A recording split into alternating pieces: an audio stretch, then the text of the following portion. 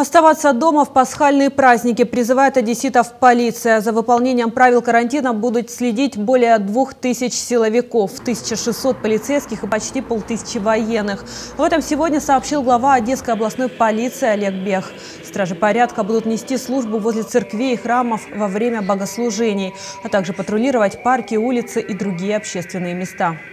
Поліцейські, які під час богослужінь будуть забезпечувати правопорядок е, біля культурних е, споруд, е, перш за все е, будуть проводити роз'яснювальну роботу з громадянами. Разом з тим хочу вам наголосити, що найголовніше для нас це життя і здоров'я людей.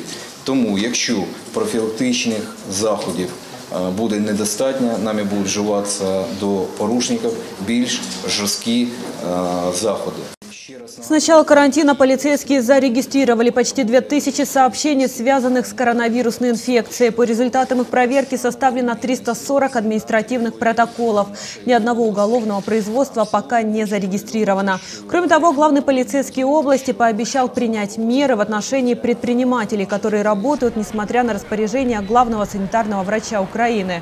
Всего на территории Одесской области 47 рынков, 26 из них уже закрыты. Еще по 21 вопрос решается.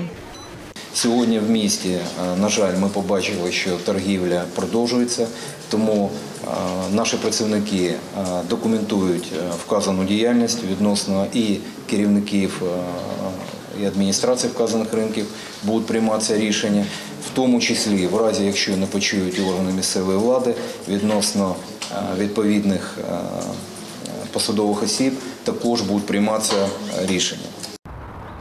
А вот количество зарегистрированных уголовных преступлений в области уменьшилось на 21%. Но в то же время наблюдается увеличение количества преступлений небольшой и средней тяжести.